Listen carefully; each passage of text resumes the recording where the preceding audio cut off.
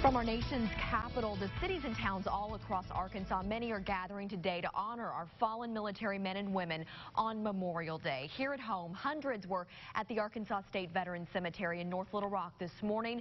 It's an annual tradition that is a tribute to those who gave the ultimate sacrifice. KARK4's Chanley Painter was there. She talked with many people who spoke about how important it was for them to take the time to attend. Chanley? Hey, good evening, Ashley. While we may think of celebrating Memorial Day out by the pool, pool or by the lake. For many, it's also a somber day to remember their loved ones who served in the armed forces. And for one family at the memorial service today, it's all about saying thank you.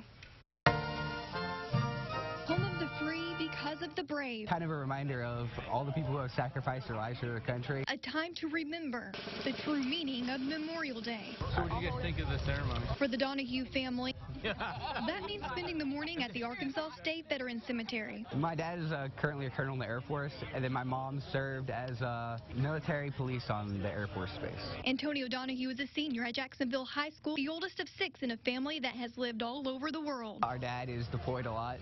Uh, so that's difficult having him in and out. It's kind of a reminder like what would happen if something were to happen to him. That's why for young Antonio it's so important to stand with hundreds of others sharing similar stories. We are not only saying thank you with our mouths and our words, we are demonstrating our honor and respect. Lieutenant Governor Tim Griffin, a 22-year veteran, told the crowd of the importance of families passing on the tradition of Memorial Day. We can't assume that this sort of ceremony will just happen automatically. A sentiment clearly reflected in a crowd of families, young and old, and the Donahues, a different kind of brothers and sisters in arms. Politics does get interesting, certainly at times. At the end of the day, we're all part of the same country, same family.